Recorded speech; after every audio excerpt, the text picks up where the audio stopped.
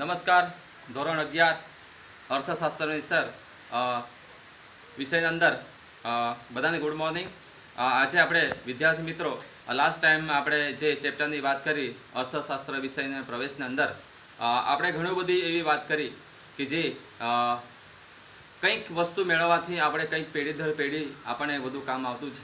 જે વસ્તુનું મૂલ્ય છે, એને ટકાઈ રાખવા માટે આપણે કંઈક વસ્તુ આપણે ઉદ્યોગ ધંધા સ્થાપી શકતા હોય છે.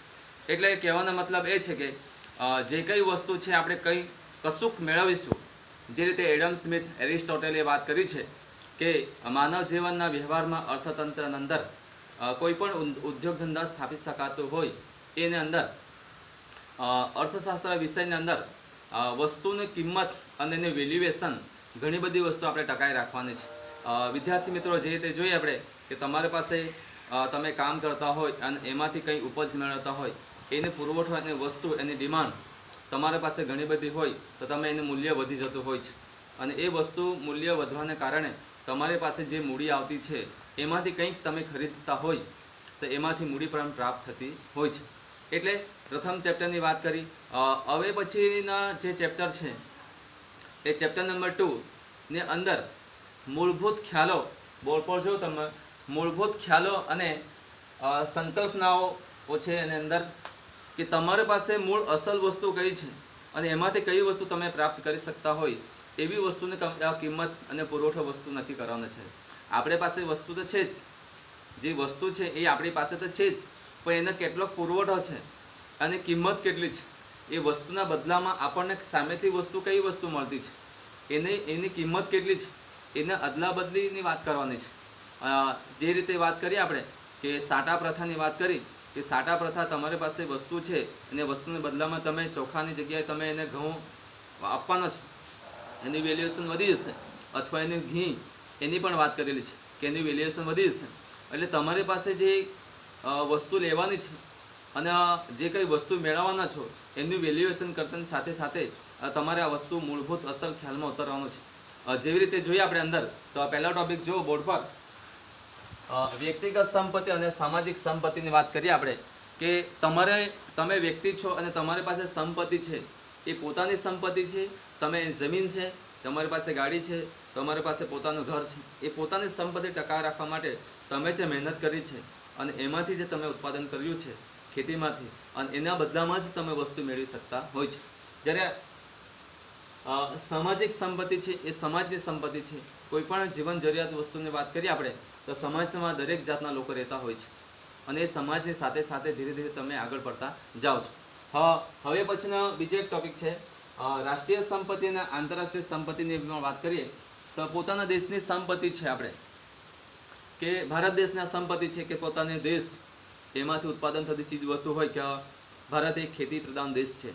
અને એમાંથી સંપત્તિનું ઉત્પાદન કરતા છે આપણે. અને એ સંપત્તિનું ઉત્પાદન કરીને આપણે દેશ વિદેશમાં કોઈ પણ વસ્તુ આયાત નિકાસ કરવાના છે. દાખલા તરીકે આપણે જોઈએ કે સાઉથ ઇન્ડિયનની વાત કરીએ, તો મરી મસાન તેજાના પણ ઘણા બધા લોકો ખેતી કરતા. એનું વેલ્યુએશન ઘણું બધું મૂલ્ય વધારે હોય છે. અને દેશમાં ઘણી બધી વેલ્યુએશન તો આપણા પાસે કેટલો સ્ટોક છે? તમે કેવી રીતે ખેતી કરવાનો છો? એનું વેલ્યુએશન કેટલું છે? એ પણ હોઈ શકતું હોય છે. એટલે ખેતી પ્રધાન દેશ હોવાને કારણે એમાંથી અર્થતંત્ર બનાવવા માટે એની મૂડી વધારે પડતી મળતી હોય છે. આંતરરાષ્ટ્રીય સંપત્તિમાં એક દેશ કરતાં બીજા દેશની વાત કરીએ આપણે ત્યાં એનું કેટલું વેલ્યુએશન છે, એનું કેટલું મૂલ્ય છે? બીજા દેશમાં જે અનાજ પાકતું છે, આપણે ઇન્ડિયામાં આવતું છે, જે રીતે ખનિજ તેલ જોઈએ આપણે કુદરતી ગેસ હોય, કોલસો હોય, દેશ વિદેશમાંથી અમુક માલ સામાન આપણે ઇન્ડિયામાં પણ લાવતા હોય. એનું વેલ્યુએશન કેટલું છે? એનો સ્ટોક કેટલો છે? છતાં પણ આપણને ઘટવા નથી દેતો, એનું પણ આપણે ધ્યાન રાખવું જોઈએ. એટલે રાષ્ટ્રીય અને આંતરરાષ્ટ્રીય સંપત્તિમાં પણ બે ફેર છે. ત્યાર પછી આપણે બીજી વસ્તુ છે કે વસ્તુઓ અને સેવાઓ અને એના સાધનો. તમારી પાસે વસ્તુ છે. વસ્તુ છે, સેવા પણ તમે આપતા છે અને સાધનો પણ છે તમારે.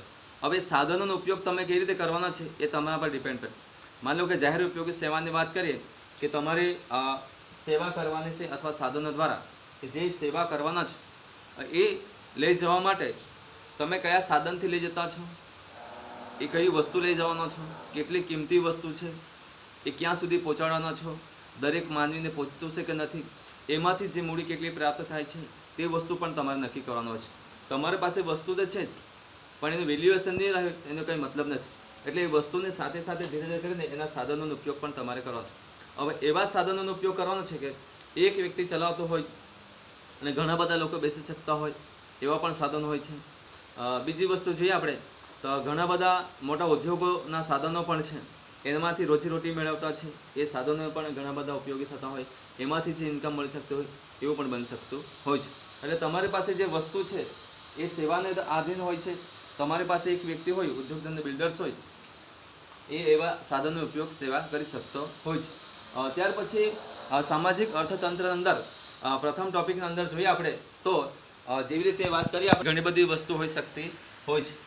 ત્યાર પછી બીજા નંબરનો ટોપિક જોઈએ. કિંમત, મૂલ્યોનો અર્થ અને તફાવત. કિંમત મૂલ્ય, અર્થ અને તફાવત. માણસના રોજિંદા જીવનમાં કેટલી કિંમતની વસ્તુ છે, એનું પણ ધ્યાન રાખી શકાય છે આપણી પાસે. જો અંદર બોર્ડ પર કે મૂલ્યોના સમાનાર્થી શબ્દ હોય તો આ વસ્તુને મૂલ્યવાન કહી શકાય, આ વસ્તુની કિંમત છે. દાખલા તરીકે જોઈએ આપણે. કે કિંમત અને મૂલ્યની વાત કરીએ વ્યાપાર ચક્રની પણ વાત કરવાની છે, એના પછી પ્ર- પ્રાથમિક સમજ પણ આપણે મેળવી શકશું. તમારી પાસે જે સંપત્તિ છે અને કલ્યાણ છે, એનું નિર્માણ કરવાનું છે. ચાલો, હવે ત્યાર પછી વિદ- વિદ્યાર્થી મિત્રો, કિંમત અને મૂલ્ય.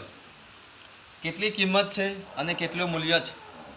હવે આ વસ્તુની કિંમત આપણે ધ્યાનમાં લઈએ તો ધ્યાન આપજો. આનું મૂલ્ય ખૂબ જ છે. તમારે પાસે જે મૂલ્ય છે, સોના ચાંદી, ઘરેણા હોય, એનું મૂલ્ય ઘણું બધું હોય છે. અથવા તમારી પાસે ઘરમાં સ્ટોક છે, એનું પણ મૂલ્ય ઘણું બધું હોય છે. પછી, આનું મૂલ્ય ખૂબ જ છે, આ વસ્તુની કિંમત છે, આની કિંમત વધારે પણ હોઈ શકતી હોય છે. આ જે ત્રણ વાક્ય છે, એ જુઓ અંદર. આ વસ્તુની કિંમત છે, આનું મૂલ્ય ખૂબ જ છે, આની કિંમત પણ વધારે છે. આ જે સમાનાર્થી શબ્દો છે, જુઓ તમે અંદર બોર્ડ પર. તો તમારી પાસે જે વસ્તુ છે એ ખૂબ જ મૂલ્યવાન હોય છે. અને એ વધારે પણ છે. કિંમતમાં વધારે પણ હોય. ન લઈ શકાતું હોય, એવું પણ બની શકતું હોય છે. એટલે તમારી પાસે જે પૂર્વ વસ્તુ અને પુરવઠાનો સ્ટોક છે, એ તમારે ટકાઈ રાખવાનો છે. ત્યાર પછી જોઈએ આપણે મૂલ્યોની ઉપયોગિતાની ખાસ ધ્યાનમાં લઈએ આપણે, તો ઉપયોગીતા અને મૂલ્ય. વસ્તુ માનવ જીવન માટે કેટલાક ઉપયોગિતા હોય છે. વસ્તુ જે ખરું ને તમારી પાસે જે વસ્તુ છે એના જીવન માટે કેટલું ઉપયોગી છે? ત્યારબાદ દાખલા તરીકે જોઈએ આપણે. કે ખોરાક પાણી સૂર્ય અને હવા. આપણી પાસે જે વસ્તુ છે એની કિંમત અને મૂલ્ય. દરેક માનવ જીવનની અંદર દરેક લોકો પોતાના જીવન ગુજારવા માટે પહેલી પસંદગી ખોરાક માટે કરે છે. એ ખોરાક દરેક લોકો ખાઈ શકતા હોય છે. ત્યાર પછી પાણી. પાણી પણ ખોરાક લેશે એટલે પાણી પણ એની ઉપયોગીતા સૌથી મૂલ્યવાન હોય છે. સૂર્યપ્રકાશ અને હવા. આ એક વસ્તુ એવી છે કે સૂર્યપ્રકાશ એ કુદરતી વસ્તુ છે. હવા પણ એક આ કુદરતી વસ્તુ છે. ધીરે ધીરે કરતાં કરતાં કરતાં દરેક માનવ જીવનના એ વસ્તુ ખૂબ જ જરૂર છે. એટલે આ ચાર ટોપિક જે ખરા આપણી પાસે, એની ઉપયોગીતા તમે શું કરવાના છો? તો ખોરાકનો ઉપયોગ ખાવા, ખાઈ શકતા હોય, પાણી પી શકતા હોય. સૂર્યપ્રકાશ આપણે માનવ જીવન માટે પણ ખૂબ જરૂરી હોય છે. દરેક જીવનમાં વર્લ્ડની અંદર આ સૂર્યપ્રકાશની હવા ખૂબ જ જરૂર હોય છે. જેવી રીતે વાત કરીએ આપણે, તો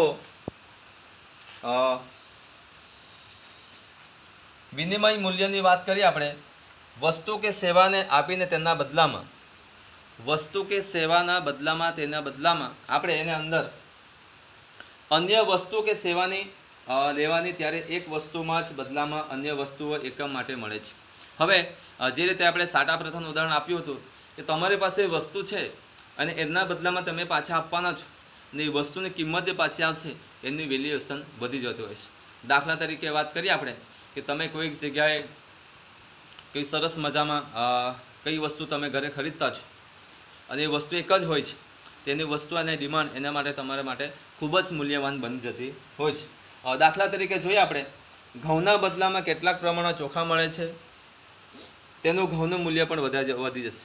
કારણ કે આપણે એના ઘઉંના બદલામાં કેટલું પ્રમાણ ચોખા મળશે, ઘઉંનું મૂલ્ય વધી જશે. કારણ કે તમે જે મૂલ્ય આપવાના છો, એ ઘઉં છે. ઘઉંના બદલામાં તમે ચોખા પાછા લેવાના છો. તો ઘઉંનું મૂલ્ય વધી જશે. પછી એનું ઉપયોગિતાનું મૂલ્ય જોઈએ, કે ચોક્કસ સમયે પણ હોઈ શકતું હોય છે. જે રીતે વાત કરીએ આપણે, કે ચેપ્ટર નંબર ટુની અંદર, ઉપયોગિતાના મૂલ્યની અંદર વસ્તુના માનવ જીવન માટે કેટલીક ઉપયોગિતા મૂલ્ય દર્શાવે છે. દાખલા તરીકે ખોરાક, સૂર્યપ્રકાશ, હવા, પાણી અને એની મૂલ્યની અંદર વસ્તુ કે સેવાના બદલામાં હોઈ શકતી હોય છે. ચેપ્ટર નંબર ટુની અંદર મૂળભૂત ખ્યાલો અને સંકલ્પના અંદર વસ્તુના સાધનો, તફાવત અને કિંમત, સંપત્તિનું કલ્યાણ વ્યાપાર ચક્ર વિશેની પણ વાત કરેલી છે.